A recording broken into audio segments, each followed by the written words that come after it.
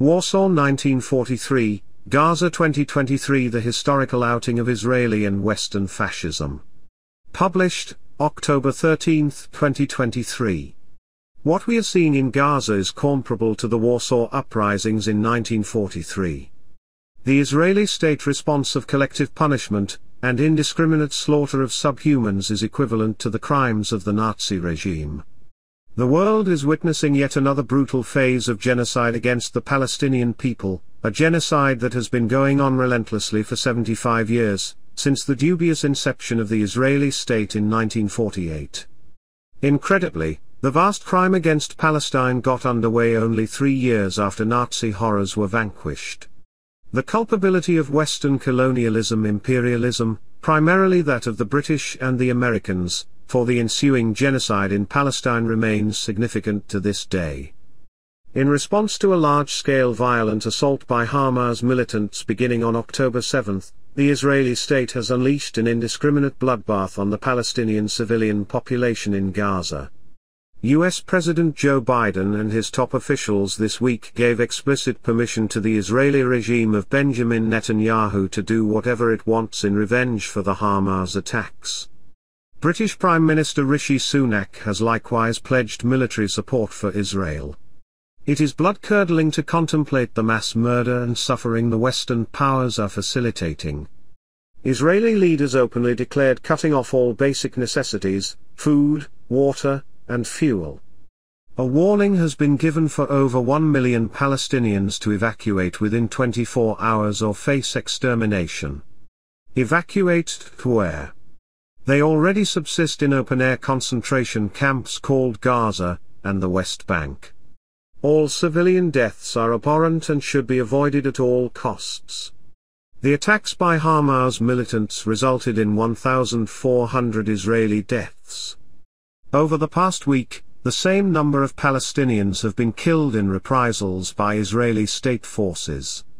It is feared that the Palestinian death toll will increase dramatically in the coming days as the Israeli military is mounting an invasion of Gaza.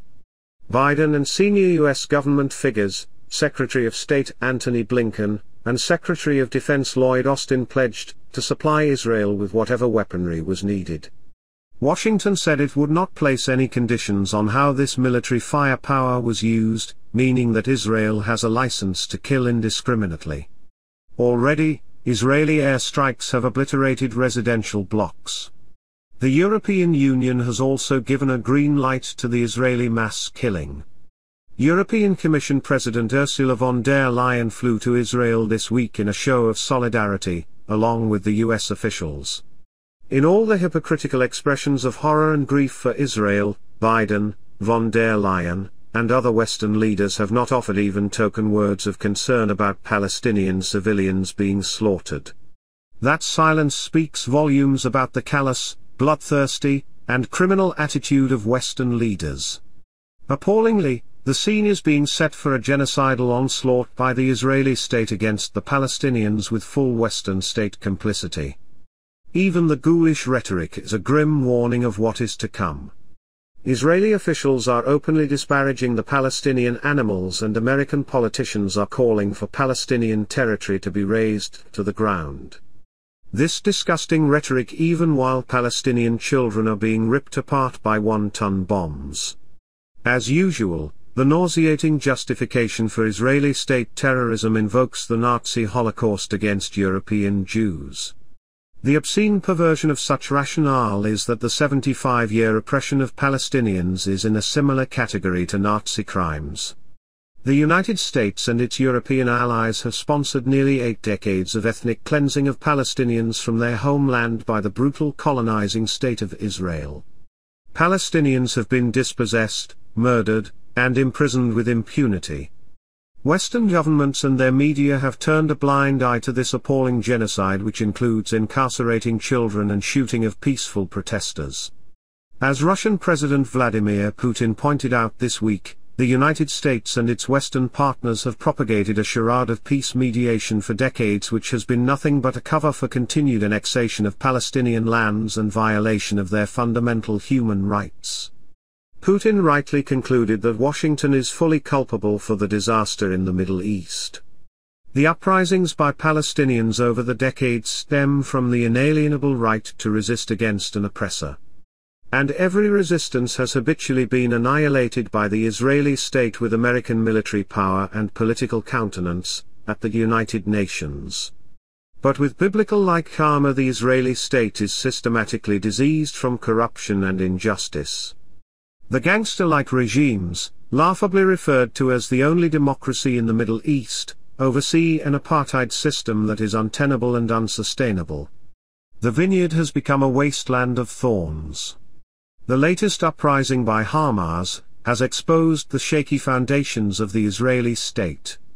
There will be dreadful revenge exacted over the coming days on the Palestinian population. But the damage inflicted to Israel's image and that of its Western state supporters is beyond repair. The fascist face of Israel is evident for all the world to see, as is that of its Western supporters. Public protests in Europe, and the United States against Israeli violence are being banned. Western media are condemning anyone who criticizes the Israeli regime and seeks to explain the historical background to the latest atrocities and how the conflict might be justly resolved. Western governments and their media are being exposed as fascistic. The consistency here is that these same institutions and people support a Nazi regime in Ukraine tasked with fighting a proxy war for the US-led NATO axis against Russia. Only a few weeks ago, the Canadian Prime Minister and his parliament along with the Ukrainian president saluted a Ukrainian Waffen-SS veteran with a standing ovation. The Israeli regime never stops invoking the Nazi Holocaust as an emblem for its supposed moral credentials. The cynical fraud here is sickening. The Israeli regime has behaved like the Nazis in its genocide against Palestinians.